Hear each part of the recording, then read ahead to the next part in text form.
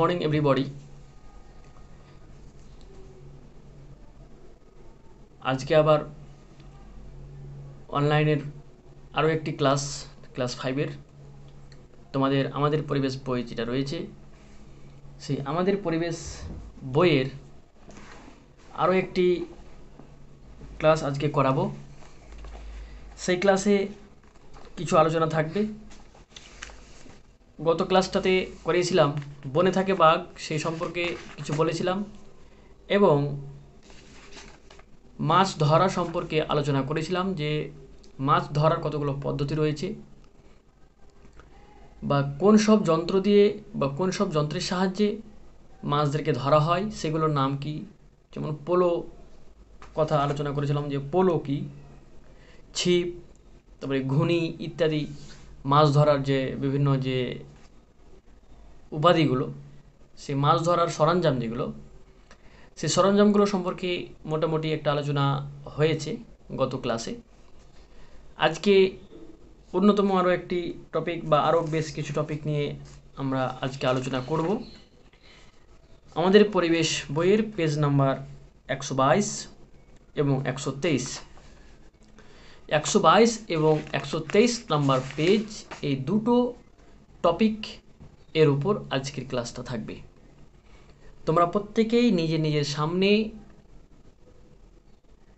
আমাদের পরিবেশ যে বইটা রয়েছে, সেই বইটা খুলে তারপরে তোমরা ক্লাসটা দেখতে বসবে।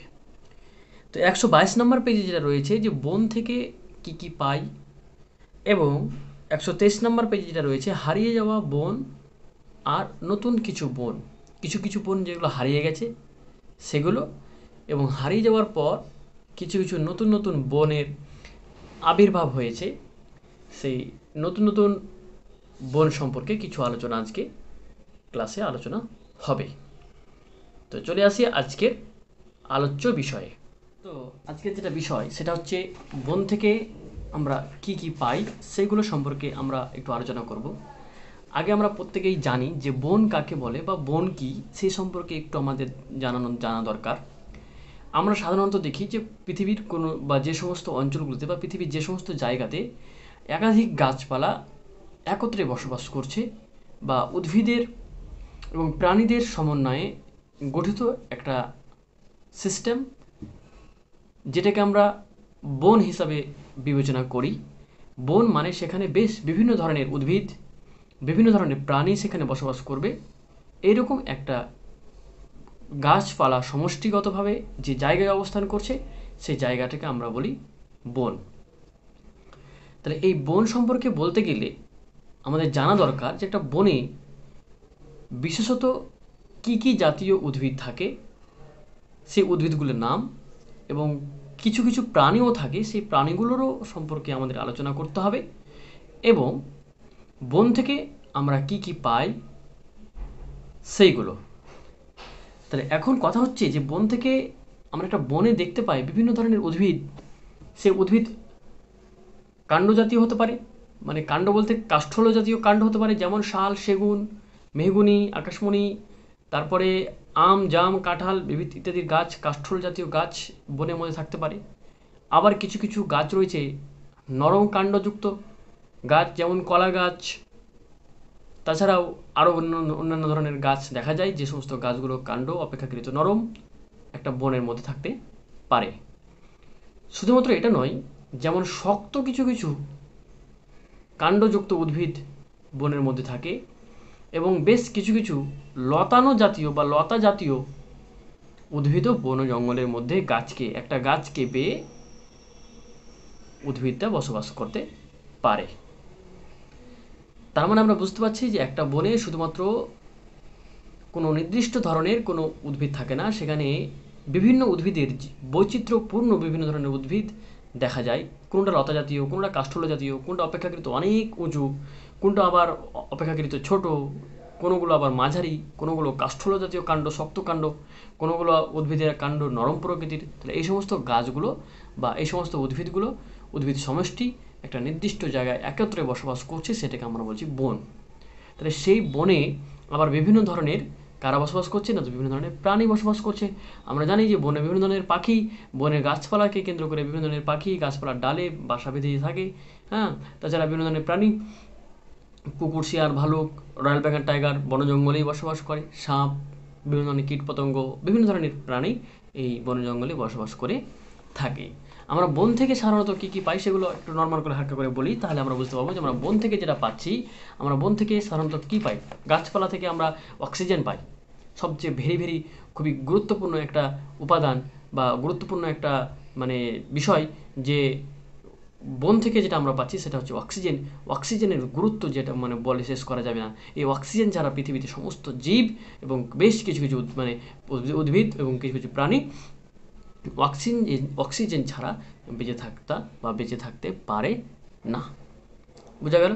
আবার শুধুমাত্র অক্সিজেন নয়, বিভিন্ন ধরনের আসবাবপত্র, আসবাব তৈরি করার জন্য আসবাবপত্র তৈরি করার জন্য যে কাঠ, সাধারণত একটা বেড তৈরি করতে হবে, একটা টেবিল তৈরি করতে হবে তো উদ্ভিদ থেকে পেতে হবে, সেই উদ্ভিদগুলো বন জঙ্গলেই থাকে, উদ্ভিদের কাঠ থেকেই, কাঠ যে কাঠের তৈরি যে আসবাবপত্রগুলো, সেই আসবাবপত্রগুলো তৈরির জন্য কাঠ পাওয়া যায়। জ্বালানির জন্য যে সমস্ত কিছু কিছু কাঠ পাওয়া যায় তাছাড়া বিভিন্ন ধরনের উদ্ভিদের শুকনো পাতা, শুকনো ছাল, শুকনো ডালপালা বন জঙ্গল থেকে কুড়িয়ে নিয়ে এসে জ্বালানি হিসেবে ব্যবহার করতে পারি আমরা। শুধুমাত্র তা নয়, বিভিন্ন ধরনের বন জঙ্গলে মৌমাছি বসবাস করে, মৌচাক তৈরি করে, সেখান থেকে মৌচাক থেকে আমরা মধু বা মোম পেয়ে থাকি। তাছাড়া আরও বন জঙ্গলে বিভিন্ন ধরনের ভেষজ উদ্ভিদ, বিভিন্ন ধরনের উপকারী এমন কিছু কিছু উদ্ভিদ রয়েছে, যে সমস্ত উদ্ভিদগুলোর কাছ থেকে আমরা ওষুধ, ওষুধি গুণসম্পন্ন কিছু উদ্ভিদ রয়েছে, ওষুধ তৈরিতে কাজে লাগে। যেমন আমরা জানি তুলসী গাছ। তুলসী সর্দি কাশি হলে তুলসীর পাতা খেলে মোটামুটি ভালো হয়ে যায়। তো এই তুলসী গাছ একটা হচ্ছে ভেষজ উদ্ভিদ। তো ভেষজ গুণসম্পন্ন আমাদের রোগ নিরাময় করতে সাহায্য করে এরকম কিছু কিছু উদ্ভিদের কিছু অংশ। সেই সমস্ত উদ্ভিদগুলো আমরা বলছি ভেষজ উদ্ভিদ। তো এরকম অনেক গাছ রয়েছে। সিঙ্কোনা গাছ। সিঙ্কোনা গাছ একটা ভেষজ উদ্ভিদ। সিঙ্কোনা গাছের ছাল থেকে সাধারণত ম্যালেরিয়া রোগের ওষুধ তৈরি করা হয়। তাছাড়াও রয়েছে সর্পগন্ধা গাছ, সেটা রেসারপিন পাওয়া যায়। সর্পগন্ধা গাছ থেকে রেসারপিন পাওয়া যায়, সর্পগন্ধা গাছের মূল থেকে, সেই মূল থেকে এ ধরনের তরল পদার্থ মানে নির্দিষ্ট বা নির্যাস করা হয়। যে রসটা, সেই রসটা হচ্ছে রেসারপিন। সেই রেসারপিনে আমাদের উচ্চ রক্তচাপ হাই ব্লাড প্রেশার কমাতে সাহায্য করে। তাছাড়া শুধুমাত্র এই নয়, বাসক, কালমেঘ ইত্যাদি ইত্যাদি আরও অনেক ধরনের উদ্ভিদ রয়েছে। যে সমস্ত উদ্ভিদগুলো আমাদের বিভিন্ন রকম অসুখ নিরাময় করতে সহযোগিতা করে। তাহলে সেই ওষুধি গুণসম্পন্ন এই উদ্ভিদগুলোকে বলা হয় ভেষজ উদ্ভিদ। তাহলে বন জঙ্গল থেকে আমরা ভেষজ উদ্ভিদ পেয়ে যাচ্ছি, তাছাড়া ফুল, ফল ইত্যাদি বন জঙ্গল থেকে পাচ্ছি, জ্বালানি পাচ্ছি, তারপরে কাঠ থেকে কাগজ তৈরি হয়, তাছাড়া হিং, রজন, আঠা, গদ ইত্যাদি ইত্যাদি তরুক্ষীর ইত্যাদি ইত্যাদি আমরা বন জঙ্গল থেকে বিভিন্ন ধরনের উদ্ভিদের দেহ থেকে পেয়ে থাকি হ্যাঁ? তারপরে ধুনা, ধূপ ইত্যাদি ইত্যাদি বিভিন্ন ধরনের উপাদান যেগুলো আমাদের দৈনন্দিন জীবনে আমাদের বাড়িতে সারা দিনে অনেক কাজে ব্যবহার করি মানে ব্যবহার হয়ে থাকে। এরকম উপাদানও আমরা বন জঙ্গল থেকে পেয়ে থাকি। তাই না? তাহলে এইগুলো হচ্ছে মোটামুটি একটা বন থেকে আমরা কি কি পাই সম্পর্কে একটু জাস্ট আলোচনা। আমরা টেক্সট বইটা ফলো করব। টেক্সট বই রিডিং কী আছে মানে কী বিষয়ে লেখা আছে, সেই টেক্সট বইটা আমরা রিডিং পড়ব এবং আমরা বোঝার চেষ্টা করব যে এখানে কি আছে। দেখো, বন থেকে কি কি পাই? একশো বাইশ নম্বর পেজ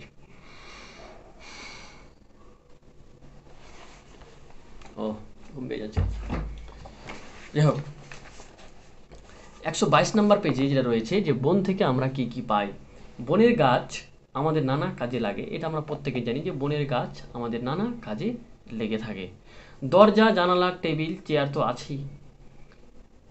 বন থেকে অনেক জিনিস আমরা পাই যেগুলো আমাদের দৈনন্দিন জীবনে নানা কাজে লেগে থাকে। যেমন দরজা, জানালা, টেবিল, চেয়ার তো আছেই, এগুলো আমাদের কাজে লাগে। এগুলো কাঠ দিয়ে তৈরি এবং এই কাঠগুলো বন জঙ্গলের উদ্ভিদ থেকে তৈরি। গাছের ছাল থেকে মশলা হয়। এ কথা শুনলে ফরিদা বলল, এ কথা শুনে ফরিদা বলল, ছাল থেকে ওষুধও হয়, দড়ি তৈরির আঁশও হয়। তাহলে বন জঙ্গলে এরকম কিছু কিছু উদ্ভিদ রয়েছে, যে সমস্ত উদ্ভিদের ছাল থেকে মশলা তৈরি হয়। যেমন আমরা বেশ কিছু কিছু উদ্ভিদের কাঠ মশলা বলে একটা মশলা পাওয়া যায়, কাঠ মশলা, দারচিনি যেটা বলে দারচিনি হ্যাঁ অপেক্ষাকৃত একটু ছালটা মিষ্টি মিষ্টি জাতীয়।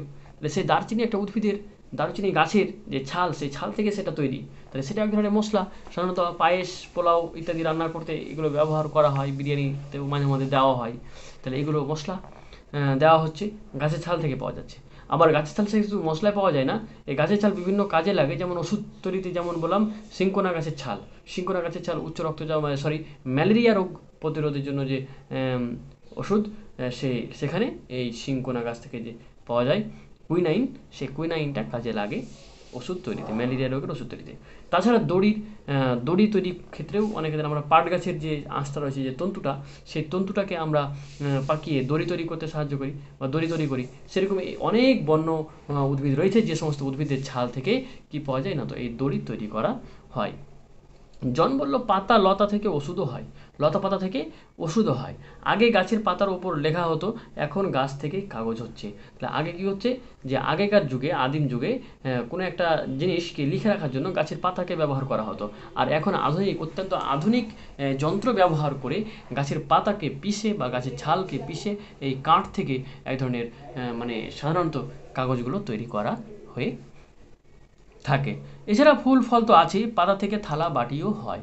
আমরা ফুচকা খাওয়ার যে, সাধারণত ফুচকা যে বাটিতে খাই, সে বাটিটা আমরা দেখেছি, সে শাল পাতা দিয়ে তৈরি, এই জন্য পাতা দিয়ে তৈরি। তাছাড়া আমরা বিয়ে বাড়িতে গেলে আগে বর্তমানে থার্মোকল ব্যবহার করা হচ্ছে, কিন্তু আগে থার্মোকল ব্যবহার করা হতো না, শাল পাতা ব্যবহার করা হতো। শাল পাতা দিয়ে বোনানো একটা বিরাট আকৃতির একটা পাতা প্লেট। তাহলে এই সমস্ত থালা বাটিতেও এই শাল মানে বিভিন্ন ধরনের পাতা থেকে থালা বাটিও তৈরি করা হচ্ছে। এইসব শুনে দিদি বললেন, বাহ, এই তো তোমরা অনেক কিছু জানো। দিদিমণি জেনে শুনে এগুলো বলছে যে, বাহ, এগুলো তো তোমরা বেশ ভালোই জেনেছো। তোমরা অনেক কিছুই জানো যে গাছ থেকে কি কি পাওয়া যায়। কেয়া বলল, বনের কিছু গাছ আছে খুব লম্বা। কিছু কিছু গাছ, যেমন নারকেল, শাল, তাল ইত্যাদি যে গাছ যদি বন জঙ্গলে থাকে, তাহলে সেই সমস্ত উদ্ভিদগুলো অনেক লম্বা উদ্ভিদ। আবার বলছে বট অশ্বত্থ আবার চারিদিকে ছড়ি বিরাট গাছ। যেমন বট অশ্বত্থ গাছ, যেমন কোনো গাছ, আমি আগেই বলেছি যে বনে এমন কিছু কিছু গাছ রয়েছে যেগুলো অতিরিক্ত লম্বা আবার কিছু কিছু উদ্ভিদ রয়েছে যেগুলো আকারে ছোট, আবার কিছু কিছু উদ্ভিদ রয়েছে নরম কাণ্ডযুক্ত, আবার কিছু কিছু উদ্ভিদ রয়েছে শক্ত কাণ্ডযুক্ত। তো এইরকম এই উদ্ভিদ সম্পর্কে আমরা বিভিন্ন ধরনের এ করে থাকি, বিভিন্ন ধরনের উদ্ভিদ সম্পর্কে। আমরা বন থেকে বিভিন্ন জিনিস পাওয়া যায়, যেমন ভেষজ উদ্ভিদ মানে যেমন কিছু কিছু ঔষধি গুণ সম্পন্ন উদ্ভিদ পাওয়া যায়, লম্বা কাণ্ডযুক্ত উদ্ভিদ পাওয়া যায়, নরম কাণ্ডযুক্ত উদ্ভিদ পাওয়া যায়, এবং বট অশ্বত্থের মতো বিরাট আকৃতির চারিদিকে ছড়িয়ে পড়ে, এরকম বিরাট আকৃতির উদ্ভিদও আমরা দেখতে পাই এখানে। ম্যাম বলেন এইভাবে গাছের আলাদা আলাদা দল করতে পারো কলা, পেঁপে, নরম কাণ্ডযুক্ত। কলা যেমন পেঁপে, এগুলো হচ্ছে নরম কাণ্ডযুক্ত গাছ, শুকনো লতানো গাছ কিছু গাছ খুবই ভিজে মাটিতে হয়, কিছু কিছু গাছ জলেও হয়, কারও পাতা ঝরে পড়ে, কারও পাতা আবার সব সময় সবুজ হয়ে থাকে। এরকম বনের মধ্যে অনেক অনেক উদ্ভিদ রয়েছে বিভিন্ন ধরনের উদ্ভিদের বৈশিষ্ট্য বিভিন্ন রকম। কিছু কিছু উদ্ভিদ রয়েছে যাদের পাতা প্রতিনিয়তই ঝরতে থাকে। যেমন কাঁঠাল, আম, জাম ইত্যাদি, এই সমস্ত উদ্ভিদের পাতা একটা দুটো করে মাঝে মধ্যে ঝরতে থাকে। আবার কিছু কিছু উদ্ভিদ রয়েছে, দেখবে সে সমস্ত উদ্ভিদগুলো বছরে একটা নির্দিষ্ট উদ্ভিদে মানে নির্দিষ্ট প্রজাতি মানে সময়ে, নির্দিষ্ট সময়, যেমন ধরো শীতকালে বা বর্ষাকালে বা গরমকালে কোনো একটা নির্দিষ্ট সময় দেখা যাচ্ছে যে কিছু কিছু উদ্ভিদ সম্পূর্ণ পাতাকে ছড়িয়ে দেয়। তো সেটা হচ্ছে পর্ণমোচী উদ্ভিদ, যেমন নিম নিম পাতা দেখবে, নিম পাতাটা বছরের নিম গাছ, বছরে একটা নির্দিষ্ট সময় সম্পূর্ণ পাতাকে ঝরিয়ে দেয়। তাহলে এরকম গাছ বন জঙ্গলে থাকতে পারে। দেখো, ছক করা আছে কোন গাছের কোন অংশ থেকে কি হয়, তা শিক্ষা শিক্ষকেরা শিক্ষক, শিক্ষিকা ও বড়দের কাছ থেকে জেনে নাও। আলোচনা করো। ওষুধ ওষুধ পাওয়া যায় এরকম কিছু কিছু উদ্ভিদের নাম লিখবে হুম, দড়ি তৈরি হয় এরকম কিছু উদ্ভিদের নাম লিখবে, আসবাবপত্রে কাঠ পাওয়া যায় এরকম কিছু উদ্ভিদের নাম, কাগজ পাওয়া যায় বিভিন্ন ধরনের উদ্ভিদের উদ্ভিদের নাম, মশলা পাওয়া যায় এরকম কিছু উদ্ভিদ, ফল, ফুল ইত্যাদি পাওয়া যায় এরকম কিছু উদ্ভিদ, এই ছকটা তোমরা করবে। দেওয়া আছে কোন কোন গাছ থেকে ওষুধ পাওয়া যায়, কোন কোন গাছ থেকে দড়ি পাওয়া যায়, কোন কোন গাছ থেকে আসবাব, আসবাবপত্রে কাঠ তৈরি করা হয় হ্যাঁ সেগুলো সম্পর্কে তোমরা আলোচনা করবে। তাছাড়া তোমরা এটা পড়বে এটা উম, তোমাদের রায়োমার্টিনটা দেখবে রায়োমার্টিনে তোমাদের পেজ নাম্বার দুশো তেইশ থেকে এই বনের থেকে, বন থেকে কি কি পায়, এগুলো রয়েছে দুশো তেইশ নাম্বার পেজে। এখানে ছকে সুন্দর করে দেওয়া আছে যে কোন গাছ থেকে কি পাওয়া যায়। যেমন সর্পগন্ধার মূল থেকে উচ্চ রক্তচাপের ওষুধ তৈরি হয়। তারপরে কালমে গাছ থেকে পাতার রস থেকে কৃমিনাশক বা ওষুধের ওষুধ, কৃমি যদি পেটে থাকে তো সেই কৃমিকে নাশ করার জন্য বা যকৃতের ওষুধ থেকে এটা পাওয়া যায় কালমেঘ থেকে। সিংকোনা গাছের সাথ থেকে ম্যালেরিয়ার ওষুধ পাওয়া যায়। বাসক পাতার রস থেকে সর্দি, কাশির ওষুধ পাওয়া যায় ইত্যাদি। দড়ি পাওয়া যায় পাট সন গাছের তন্তু থেকে নারকেলের ছোবড়া থেকে দড়ি তৈরি করা হয়, নারকেলের দড়ি যেটাকে বলা হয়। তাছাড়া আসবাবপত্রে কাঠ শাল সেগুন, মেহগনি, চাঁপা চাপ, গামার, শিশু, নিম ইত্যাদি। তাছাড়া রয়েছে কাগজ তৈরি করা হয়, বাঁশ বা লম্বা ঘাস থেকে সাধারণত কাগজ তৈরি করা হয়। মশলা পাওয়া যায় দারচিনি, লবঙ্গ, এলাচ, তেজপাতা, গোলমরিচ, এগুলো ইত্যাদি বনে জঙ্গলে বসবাস করে বিভিন্ন ধরনের উদ্ভিদ। সে সমস্ত উদ্ভিদগুলো থেকে এই সমস্ত মশলাগুলো পাওয়া যায়। ফুল, ফল ইত্যাদি পাওয়া যায়। ফুল করবি অপরাজিতা, জবা, চাপা, লিলি, অর্কিড। ফল পাওয়া যায় আম, আপেল চালতা আতা সবেদা ইত্যাদি ইত্যাদি অনেক ধরনের উদ্ভিদ রয়েছে যেগুলো পরিবেশ থেকে বা বন জঙ্গল থেকে পাওয়া যায়। তাহলে এগুলো সম্পর্কে একটু আলোচনা হয়ে গেল। তোমরা উম, এই ছকটা করবে। এবং আরও একটা ছক রয়েছে দুই নম্বর দুই নম্বরে যে ছকটা রয়েছে যে তোমার এলাকায় এমন বিভিন্ন ধরনের কি কি গাছ পাওয়া যায় খুঁজে লেখো আলোচনা করে লেখো। যেমন লম্বা গাছ তোমার এলাকাতে লম্বা লম্বা গাছ রয়েছে, কোনগুলো? আমরা প্রত্যেকে জানি যে তাল, নারকেল শাল গাছ, এগুলো আকৃতিতে লম্বা হ্যাঁ তারপরে পাইন গাছ ঝাউ গাছ, সেগুন গাছ বা বাঁশ গাছ, এগুলো আকারে লম্বা এটা আমরা জানি। তাছাড়া রয়েছে ছড়ানো, বড় বৃহৎ আকৃতি ছড়ানো, যেমন আম গাছ, আম, বট, অশ্বত্থ হ্যাঁ রাধাচূড়া, কৃষ্ণচূড়া, তেঁতুল, কাঁঠাল ইত্যাদি, এগুলো বিরাট আকৃতির হয় এবং বেশ বড় সড়ো হয়। তারপর রয়েছে নরম কাণ্ডের গাছ, নরম কাণ্ডের গাছ, আম সরি কলা, পেঁপে তাছাড়া রয়েছে কচু, ওল ইত্যাদি ইত্যাদি, এগুলো নরম কাণ্ডের গাছ তারপরে রয়েছে লতানো গাছ। লতানো গাছ অনেক রয়েছে রাঙা আলু সিম বরবটি তারপরে তোমার অপরাজিতা ইত্যাদি ইত্যাদি অনেক লতানো গাছ রয়েছে। তারপরে দেখবে যে স্যাঁতসেঁতে মাটির গাছ। আমাদের পরে আমাদের যে সমস্ত এলাকাতে স্যাঁতসেঁতে মাটি ভেজা ভেজা মাটি সে সমস্ত মাটিতে যে সমস্ত শুষ্নি থানকুনি আমরুল ঘাস ইত্যাদি ইত্যাদি জন্মায়। তাছাড়া দেখো জলাভূমির গাছ জলাভূমিতে থাকে আহ, শালুক কলমি কচুরিপানা তারপরে পানি ফলের গাছ তারপরে পদ্ম বড় ঘাস ইত্যাদি এগুলো জলের মধ্যে থাকে। তাই এই ছকটা আমরা করতে পারব। এই দুটো ছক আমরা প্রত্যেকেই দুটো ছককে স্পষ্টভাবে তুলে নিয়ে তারপরে ছকটাকে করে আমার পার্সোনাল হোয়াটসঅ্যাপে তোমরা সেন্ড করবে। চলে আসো, এবার আমাদের পরবর্তী টপিক সেটা হচ্ছে হারিয়ে যাওয়া যাওয়া বন আর নতুন বোন। হারিয়ে গেছে যে সমস্ত বনগুলো সে সম্পর্কে এবং নতুন বন সম্পর্কে, নতুন কী কী বন পাওয়া যায় বা নতুন নতুন কীভাবে নতুন বন বন সৃষ্টি হয়, সেগুলো সম্পর্কে আমাদের আলোচনা করতে হবে। তাহলে হচ্ছে এবার যেটা আমরা আলোচনা করব সেটা হচ্ছে হারিয়ে যাওয়া বোন এবং নতুন আর নতুন বোন। হারিয়ে যাওয়া বোন এবং নতুন বন। আমরা এতক্ষণ যেটা আলোচনা করলাম সেটা হচ্ছে বোন থেকে আমরা কী কী পাই, বোন কী, বনে কী কী ধরনের উদ্ভিদ থাকে সেগুলো নিয়ে আলোচনা করলাম। তাহলে আমরা একটা বন সম্পর্কে মোটামুটি আলোচনা করে ফেলেছি, যেটা বন সম্পর্কে আমাদের আইডিয়া আমরা পেয়ে গেছি। তাহলে এখন কথা হচ্ছে যে এখানে আমরা যে টপিকটা আলোচনা করতে চাই সেটা হচ্ছে হারিয়ে যাওয়া বোন আর নতুন কিছু বোন। তাহলে বোন যেহেতু আছে, তা বন হারিয়ে যাচ্ছে কেন? সেগুলো সম্পর্কে আমাদের জানতে হবে। আদিম যুগে আদিম আদিম আদিম যুগে যখন আদিম মানুষেরা ছিল, তো সেই মানুষেরা ধীরে ধীরে ধীরে ধীরে আধুনিকতার সহিত আধুনিকতার ধারাবাহিকতায় অগ্রগতিতে কী হলো, ওরা চাষবাস করতে শিখলো এবং চাষবাস করতে শেখার ফলে তারা বন জঙ্গল কেটে, তারা বন জঙ্গল কেটে চাষের জমি তৈরি করতে লাগল এবং চাষের জমি তৈরি করার ফলে সেখানে চাষের জমি তৈরি করার ফলে সেখানে চাষবাস শুরু করল এবং তারা তাদের পেটের বা আর্থিকভাবে তারা উন্নতি লাভ করতে পারলেও তবে এতে বেশ কিছু কিছু সমস্যা দেখা দিল। আর্থিকভাবে সম, উন্নতি লাভ করছে, কিন্তু তাদের বন জঙ্গল কেটে ফেলার ফলে, বিভিন্ন ধরনের উদ্ভিদ, বিভিন্ন ধরনের গাছপালাকে ধ্বংস করার ফলে সেই তাদের উদ্ভিদের সংখ্যা কমে যাচ্ছে, ফলে অক্সিজেনের চাহিদা কমে যাচ্ছে। অক্সিজেনের চাহিদা কমে যাচ্ছে মানে সরি, অক্সিজেনের উৎ- উৎপাদন ক্ষমতা কমে যাচ্ছে। আর অক্সিজেনের অভাবে তখন আমাদের বিভিন্ন ধরনের অসুখ, শ্বাসকষ্ট, হাঁপানি, অ্যাজমা, বিভিন্ন ধরনের রোগ সৃষ্টি হচ্ছে। তাছাড়া অনেক উদ্ভিদ রয়েছে যে সমস্ত উদ্ভিদগুলো পরিবেশ দূষণকে রক্ষা করে। তাহলে পরিবেশ দূষণ মানে রাস্তাঘাটে বা যানবাহন চলাচলের ফলে যে ধোঁয়া বা যে সমস্ত বায়ু দূষিত হয় সেই দূষিত বা ধোঁয়া থাকা বিভিন্ন ধরনের ক্ষতিকারক যে উপাদানগুলো, সেগুলো উদ্ভিদরা শোষণ করে ফেলে। এই উদ্ভিদগুলোকে কেটে ফেলার ফলে বা বন জঙ্গলকে কেটে ফেলার ফলে কি হচ্ছে? না তো উদ্ভিদের সংখ্যা কমে যাওয়ায় বায়ু দূষণ পরিমাণটা বেড়ে যাচ্ছে এবং বায়ু দূষণের পরিমাণ বেড়ে যাওয়াতে আমাদের অনেক ধরনের ক্ষয়ক্ষতি হচ্ছে। বন জঙ্গলগুলো আগে যে হারে ছিল, যতদিন যাচ্ছে দিনের পর দিন তাদের পরিমাণটা কমে যাচ্ছে। তার কারণটাই হচ্ছে বিভিন্ন বিভিন্ন জায়গায় বিভিন্ন ধরনের শিল্প কলকারখানা গড়ে উঠছে। ডিফরেস্টেশন বলা হয়, যে ফরেস্ট মানে হচ্ছে বনভূমি ডিফরেস্টেশন মানে হচ্ছে মানে ডিলিট করে দেওয়া এক কথায় ডি কথা থেকে ডিলিট থেকে ডি কথাটা এসেছে যে ফরেস্টেশনকে বনভূমিকে ধ্বংস করা ডিফরেস্টেশন বিভিন্ন কাজের জন্য, নগর, শহর সিটি হ্যাঁ বাড়িঘর তৈরি করার জন্য, চাষের জমি বৃদ্ধি করার জন্য, বিভিন্ন ধরনের শিল্প, কলকারখানা, স্কুল কলেজ স্থাপন করার জন্য, বিভিন্ন জায়গায় মানে মাছ চাষের জন্য, পুকুর খনন করার জন্য, চাষের জমি বৃদ্ধির জন্য বন জঙ্গলগুলোকে কেটে ফেলা হচ্ছে এবং আমাদের প্রয়োজনীয়, আমাদের স্বার্থের তাগিদে আমাদের বিভিন্ন ক্রিয়াকলাপগুলোকে সম্পন্ন করছি। তাহলে এই বন জঙ্গলকে কেটে ফেলার ফলে আমাদের অনেক ধরনের ক্ষয়ক্ষতি হচ্ছে। আমাদের মানসিকভাবে আমরা হেজিটেড হয়ে যাচ্ছি, আমাদের বায়ু দূষণ বেড়ে যাচ্ছে। বায়ু দূষণের ফলে আমাদের রোগ বেড়ে যাচ্ছে। হাঁপানি, অ্যাজমা, শ্বাসকষ্টের মতো ফুসফুসজনিত অনেক রোগ আমাদের দেহে সৃষ্টি হচ্ছে। এই জন্য আবার দিনের পর দিন যখন মানুষ বুঝতে পারছে যে এই বনভূমিকে ধ্বংসের ফলে বা বনভূমি বনভূমির হারিয়ে যাওয়ার ফলে আমাদের প্রবলেম হচ্ছে, আমাদের সমস্যা হচ্ছে, তখন আবার নতুন নতুন করে উদ্ভিদ রোপণ করতে শুরু করল এবং আবার অবশেষে কি করা হতো? না তো অবশেষে বায়ু দূষণকে কিছুটা হলেও পরিমাণে কমানোর চেষ্টা করা হচ্ছে বা সমস্যাগুলো সম- সমস্যাগুলোর সমাধান করা হচ্ছে। কারণ উদ্ভিদ যদি আমরা কেটে ফেলি, তাহলে আমাদের যে সমস্ত প্রবলেমগুলো হচ্ছে সেই সমস্ত প্রবলেমগুলোকে এড়োতে গেলে বা সেই প্রবলেমগুলোর হাত থেকে আমাদেরকে বাঁচতে গেলে আমাদেরকে আবার পুনরায় কী করতে হবে? না তো অবশ্যই বৃক্ষরোপণ করতে হবে।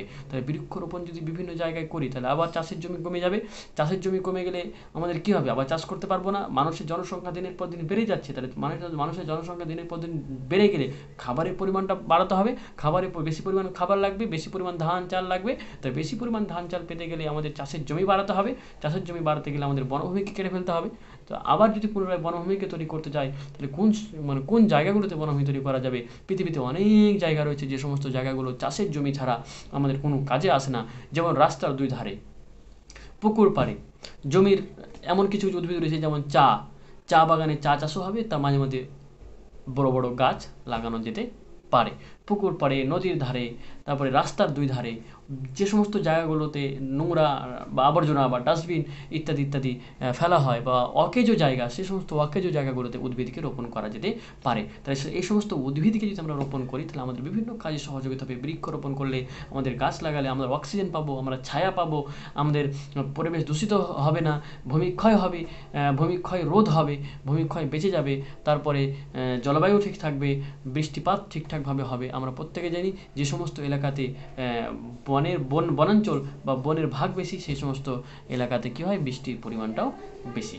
এগুলো সম্পর্কে আমাদেরকে জানতে হবে যে বন হারিয়ে যাওয়া বন আর নতুন বন সম্পর্কে। এখন আমরা চলে আসব একশো তেইশ নাম্বার পেজ আমি রিডিং লাইন বাই লাইন বোঝাবো। তোমরা প্রত্যেকেই বইটাকে ফলো করবে এবং আমার ক্লাসটা মনোযোগ দিয়ে শুনবে। বুঝতে পারলে? দেখো, প্রথমে রয়েছে অল্প কিছুদিন আগেও স্থলের বেশিরভাগটাই ছিল বন।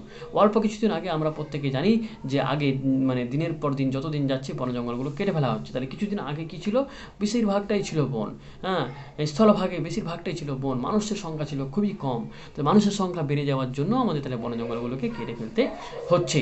চাষ করতে শেখার আগে মানুষ বিশেষ বিশেষ গাছ কাটতো না। এরকম মানুষ চাষ করতে শিখলো হ্যাঁ? এক সময় কী করল মানুষ? চাষ করতে শিখলো। গাছ কাটার ধারালো অস্ত্র বানালো এবং এবার দরকার চাষের জমির। যখন সব কিছু পেয়ে যাচ্ছে, চাষের জন্য যদি উপযোগী সব কিছু আছে, শুধুমাত্র জমিটাই নেই জমিটা পেতে গেলে গাছ কেটে ফেলতে হবে। আর গাছ কেটে ফেলতে হলে গাছ কাটার যন্ত্র বানাতে হবে কুলারি হাতুড়ি হ্যাঁ ইত্যাদি ইত্যাদি। যে গাছ কাটার যে সমস্ত যন্ত্র, সেগুলো বানাতে হবে এবং অবশেষে গাছ কাটা শুরু করল। চাষের জমি বাড়াতে গিয়ে বন কমতে থাকল। এবার চাষের জমি যত আমরা বাড়াবো, বন জঙ্গল তত কাটতে হবে। আর বন জঙ্গল যত আমরা কাটবো, বন জঙ্গলের পরিমাণটা কমে যাবে। তা এই জন্যই বলছে যে, বনের পরিমাণটা কমতে থাকল। তবে তখন এত লোকজন ছিল না, তাই গাছ কাটা হলেও অনেক বন জঙ্গল ছিল। গাছ কাটা হলেও অনেক বন জঙ্গল ছিল যখন সেহেতু তাই মানে কারণটা কি না তো? যেহেতু সেখান, সেই সময় মানুষের মানে জনসংখ্যা ছিল অত্যন্ত কম, তার জন্য গাছ দু একটা গাছ কাটলেও কোনো প্রবলেম হতো না, কারণ অনেক অনেক বন জঙ্গল ছিল। কিন্তু বর্তমানে জনসংখ্যা এত বেড়েছে যে, বন জঙ্গল কাটতে কাটতে কাটতে কাটতে কাটতে একদম প্রায় শেষের দিকে। 哼 嗯 অনেককাল আগে ভারতে রাজারা বনের ওপর কড়া নজর রাখত। অনেক কাল আগে কেউ রাজারা ভারতের ভারতের বিভিন্ন যে রাজারা তারা বন জঙ্গলের ওপর কী করতো? নজর রাখতো। তার কারণটা হচ্ছে বন জঙ্গলটাও একটা সম্পদ রাজাদের। যে রাজ্যে, যে যে রাজা, একটা নির্দিষ্ট রাজ্যের যে রাজা, সে রাজা খুব কড়াভাবে বন জঙ্গলের ওপর নজর রাখতো এবং সে বন জঙ্গলে হাতি পুষত। হাতি যাতে সে বন জঙ্গলে থাকে সে বন জঙ্গলে যাতে হাতি চলাচল করতে পারে। কারণ এই হাতিকেই রাজারা তাদের যুদ্ধের ক্ষেত্রে বা তাদের সেনাবাহিনীর বহনের ক্ষেত্রে বা অনেক মন্ত্রী, রাজা তারা হাতির ওপরে চড়ে একটা জায়গা থেকে অন্য জায়গায় যেত। ফলে তারা বনের ওপরে নজর রাখতো। বন থেকে অনেক কাল আগে ভারতে রাজারা বনের ওপর কড়া নজর রাখতো।